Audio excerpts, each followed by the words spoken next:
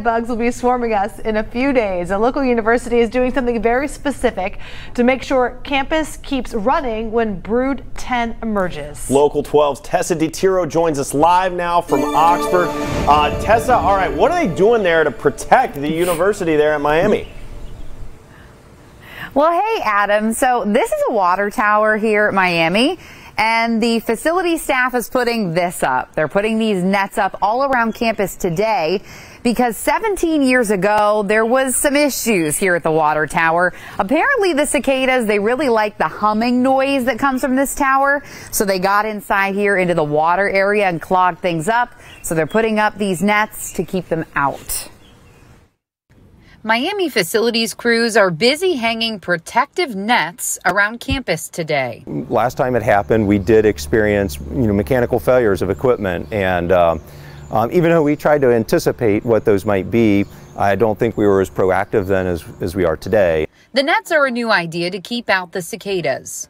Powell says his staff will still have their hands full clearing some of the pesky insects out of equipment. Uh, to keep the equipment running, we, we have to staff people around the clock and every couple hours we change the strainer baskets and, and discard the, the cicadas. All the nets needed went up today. And according to biology professor Yoshi Tomoyasu, that's a good thing. My guess is on Thursday, although it's getting warmer today, so it can happen as soon as tonight. He's already finding cicadas and studying them around campus. This is his first time seeing the insects in the U.S. The protective measures that go along with the bugs is something he did not expect. That's something I did not think about it. You know, I was so excited about this event, I did not think about the damage it could cause. So other than protecting the water tower here, the university is also netting off AC units and some of the younger trees that are on campus.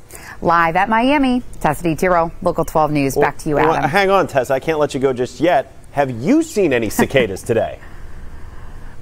Yes, actually, here in Oxford, we did. We saw a couple in the grass and a couple on the trees. So that was kind of fun. I haven't seen any in Cincinnati yet, so it was fun to see them out here. All right. Well, Tessa has seen them. We that's just Megan and me are just waiting. Only to, a matter of time. Waiting for the magic. All right, Tessa. Thank you very much.